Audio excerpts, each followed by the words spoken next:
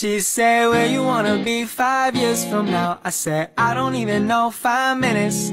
Yeah, I've been chasing dreams, never wasting doubts. But I don't wanna place time limits on everything I need to be. Millionaire by 23, property.